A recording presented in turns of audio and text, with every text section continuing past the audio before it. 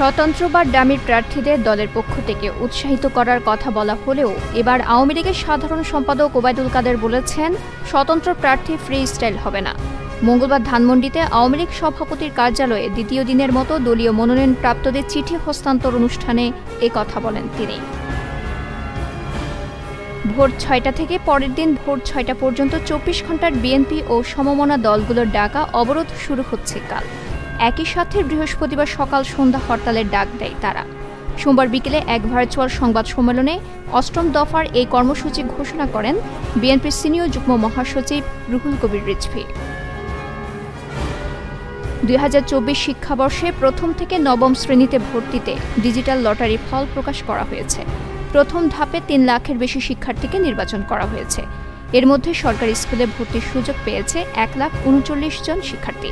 আর বেসরকারি স্কুলে ভর্তির জন্য নির্বাচিত হয়েছে দুই লাখ পাঁচ হাজারের বেশি শিক্ষার্থী।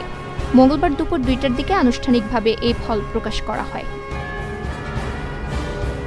দেশের মোট জনসংখ্যা এখন ষোলো কোটি আটানব্বই লাখ আঠাশ হাজার নয়শো এগারো জন। এ তথ্য প্রকাশ করেছে বাংলাদেশ পরিসংখ্যান ব্যুরো, বিবিএস। মঙ্গলবার সকালে জনশুমারির চূড়ান্ত প্রতিবেদন প্রকাশ করে বিবিএস। প্রতিবেদনে বলা হয় মোট জনসংখ্যার মধ্যে পুরুষ আট কোটি একচল্লিশ লাখ চৌত্রিশ হাজার তিনজন এবং নারী রয়েছে আট কোটি ছাপ্পান্ন লাখ ছিয়াশি হাজার সাতশো চুরাশি জন।